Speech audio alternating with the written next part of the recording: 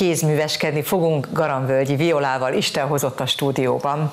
Itt már ki voltak készítve ezek a dolgok, úgyhogy nézőink láthatták, hogy mi mindent tettünk előre ide, amit te készítettél.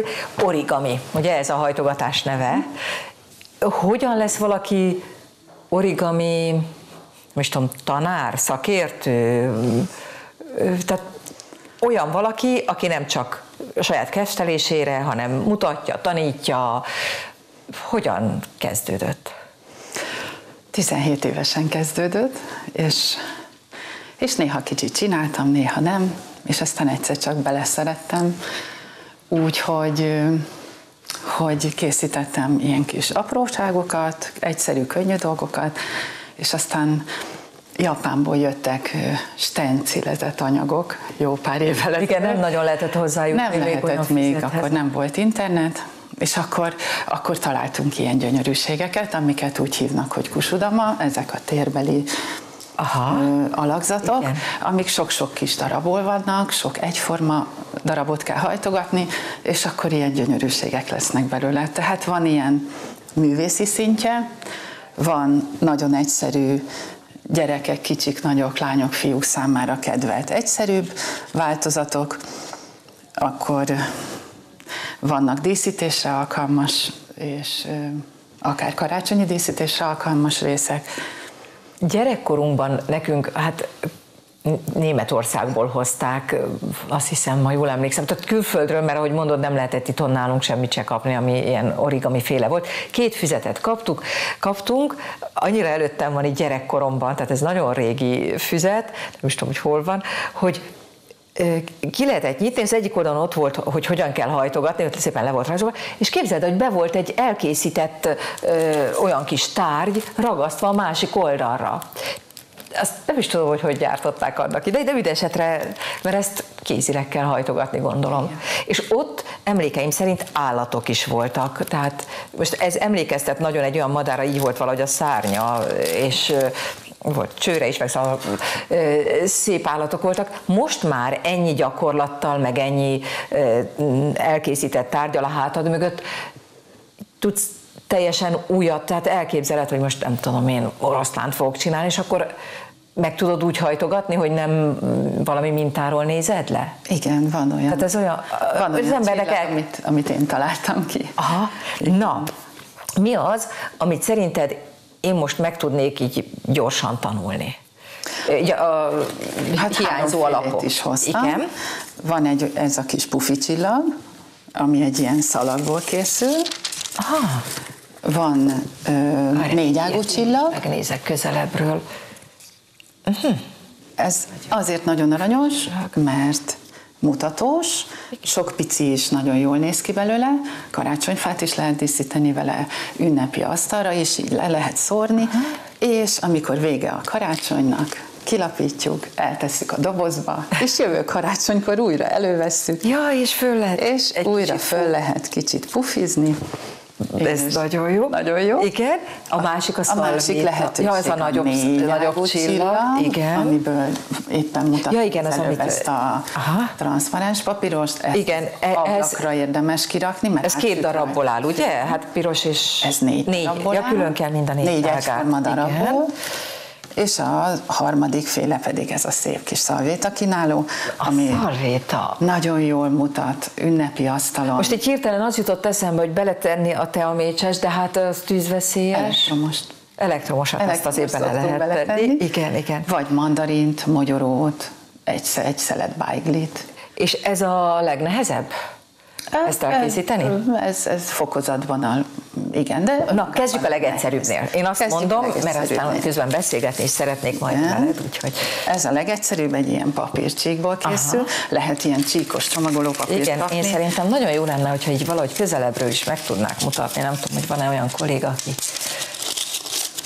erre Igen, az elején egy ilyen kis csomóval kezdünk. Tehát egy olyan hurkot teszünk, Aha. mint hogyha csomót kötnénk a cipőfűzőn, de megtartjuk a papír tulajdonságát, hogy ilyen kis lapos, uh-huh.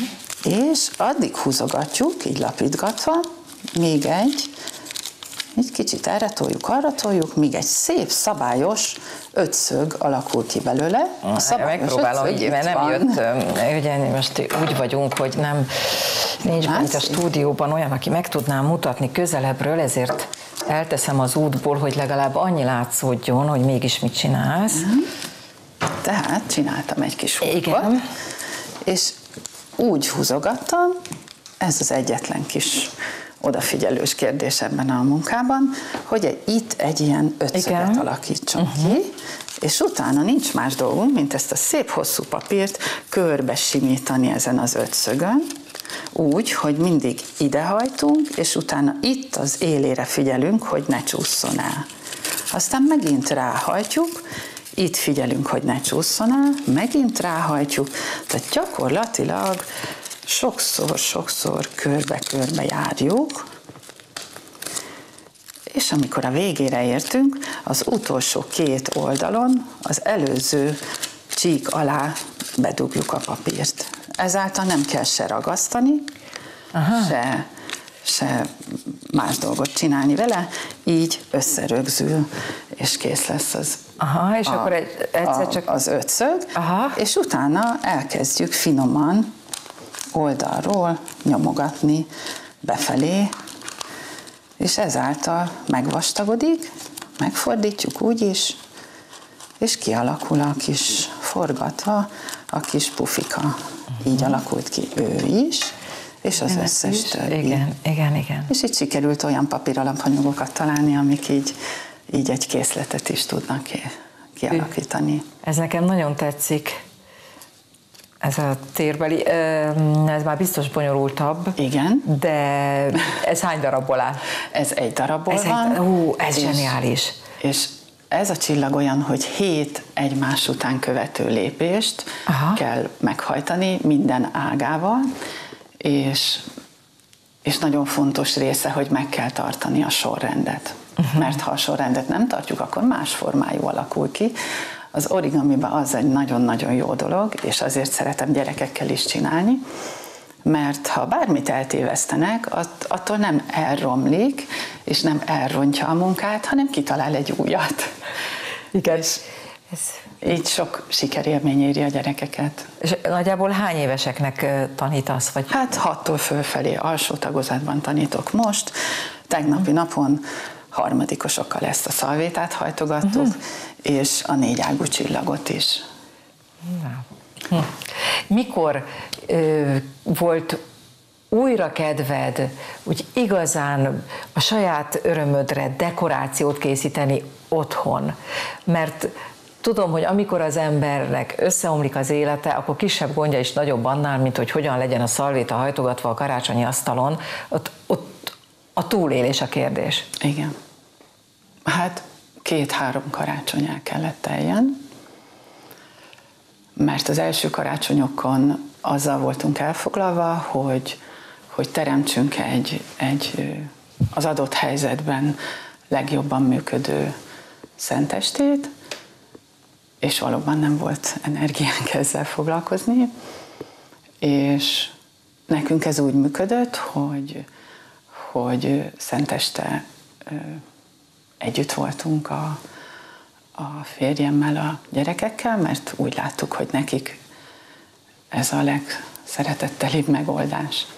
Mhm. Akkor is, amikor éppen a legfeszültebb volt köztetek a, a helyzet. Igen, és több év eltelt, mire tanultunk az alkalmakból, és láttuk, hogy hol vannak azok a, azok a félelemmel vagy feszültséggel teli pontok, amiken kicsit tudunk igazítani, változtatni, úgy, hogy, hogy viszonylag kiegyensúlyozott nap legyen.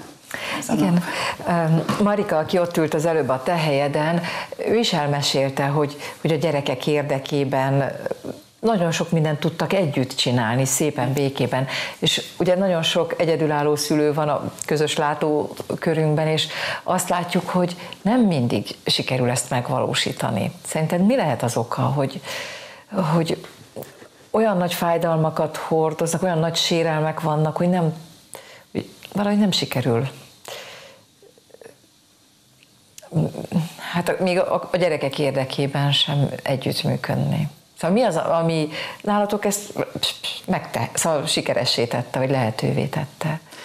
Én azt látom, hogy nálunk a család minden egyes tagja nagyon igyekezett, és, és mindenki próbált figyelni a többiek jelzéseire is, úgy gondolom a saját jelzéseinkre is, és, és azokat aztán egyre ügyesebben, ahogy teltek az évek, megtanultuk kezelni ezeket a feszültségpontokat, vagy rossz érzéseket. Na, de ilyenkor merül föl a kérdés, hogy ha annyira jól sikerül, tehát a gyerekek érdekében sikerül együttműködni, sikerül egymásra figyelni, megelőzni már a feszültségeket, mert már előre tudjuk, hogy mik azok a pontok, ahol súrlódunk, uh-huh. akkor nem, nem lehet együtt maradni? Uh-huh. De ez, ez tudom, hogy nagyon nehéz kérdés, mert, mert van, amikor nem. Tehát... Hát van, amikor nem. Azért ez egy rövid alkalom. Egyszeri alkalom. Ja, a karácsony. A karácsony. Na igen, csak igen. aztán majd férjhez mennek, megnősülnek a gyerekek. Az egy külön alkalom megint, ahol együtt kell lenni, igen. aztán az unokák születésekor. Hát, Jó erre lélekben gondolom fölkészülni, ugye, hogy, hogy azért igen ketten vagyunk a szüleik a gyerekeknek. Akkor is, hogyha már férfeleségként nem élünk együtt. Igen. Mi az, ami neked segített talpra állni? Mert az, hát ezzel szembesülni, hogy az a házasság, amit nagyon szerettünk volna, ha jól sikerül, az nem, nem mi az, ami segített neked? Mik voltak a kapaszkodóid? Nekem, nekem három-négy dolog segített. Az egyik a közösség, méghozzá kettő is mert, mert tartozom az István Atya karizmatikus közösségébe. Ez az Emmaus. Az Emmaus közösségbe. Igen. Ahol, ahol éveken keresztül testi, lelki, érzelmi, mindenfajta támogatást megkaptam a legnehezebb időkben.